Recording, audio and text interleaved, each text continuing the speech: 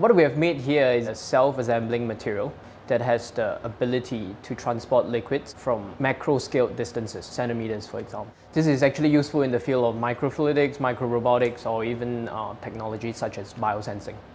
This material is a self-assembling, self-pumping capillary that actually delivers fluid from one point to another up to a macro scale of centimeters in length. The two layers comprise of a Janus design. So the first layer is actually a superhydrophilic layer which sucks water into the material, delivering it to the destination. The second layer is actually a superhydrophobic layer, which is a water hating layer that prevents wet through of the material during the delivery. So in such, these two materials work together to create this self-delivery system. We titled the paper Mimosa Origami because of how the mimosa plant reacts to a pinpoint stimulus, leading to a roll-up effect, which is very alike our material.